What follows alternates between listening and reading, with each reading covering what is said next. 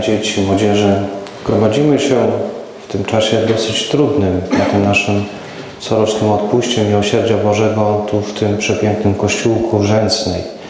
Jest to dla nas też okazja, aby po raz kolejny, może teraz bardziej świadomie, głęboko zaprosić Jezusa do swego życia przez to wezwanie świętej siostry Faustyny Jezu, ufam Tobie.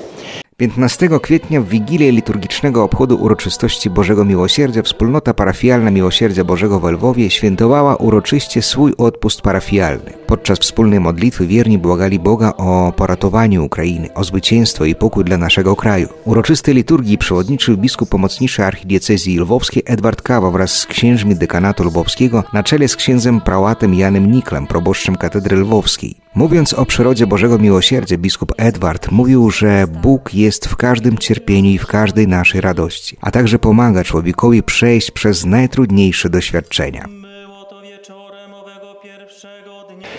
I to jest naj, chyba największy problem dzisiaj, problem Tomasza. Takie niedowiarstwo, takie zwątpienie. I to jest dzisiaj, co dzisiaj bardzo mocno, kochani moi, dotyka nas, że te słowa, które Bóg nam daje przez świętą siostrę Faustynę, które są zazwyczaj pod każdym obrazem Jezusa Miłosiernego, Jezu, ufam Tobie, one uczą nas jakby na nowo odkrycia tego Jezusa, który jest miłosierny.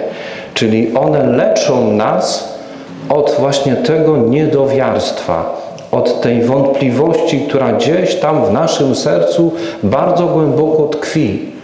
I ona powoduje, że my, jakby tam nie było, zawsze najbardziej ufamy sobie. Nie Bogu, tylko sobie. I to jest najgłębszy, najgłębszy nasz błąd.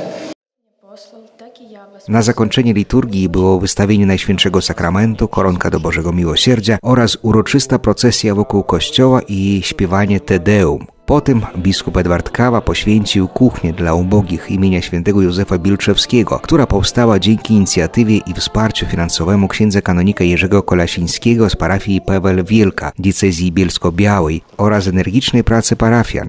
Warto powiedzieć, że to już czwarta kuchnia charytatywna w dekanacie lwowskim, która żywi uchodźców i najuboższych mieszkańców miasta.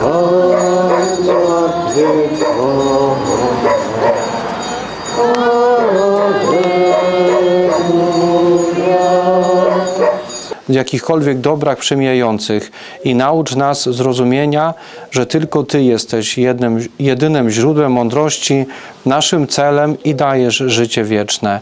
Przez Chrystusa, Pana naszego. Amen. Błogosławieństwo Boga Wszechmogącego. Chwalę Ciebie, Panie,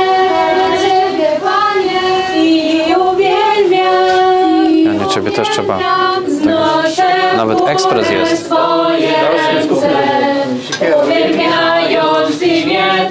Wszystkie tam.